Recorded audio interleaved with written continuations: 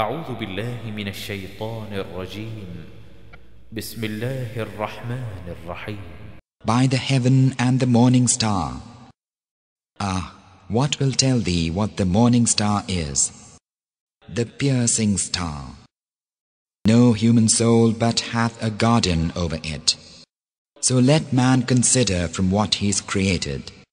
He is created from a gushing fluid that issued from between the loins and ribs. Lo, he verily is able to retain him unto life. On the day when hidden thoughts shall be searched out, then will he have no might nor any helper.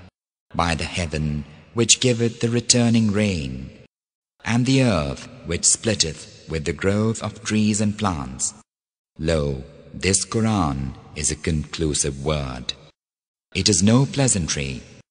Lo, they plot a plot against thee, O Muhammad, and I plot a plot against them. So give a respite to the disbelievers, deal thou gently with them for a while.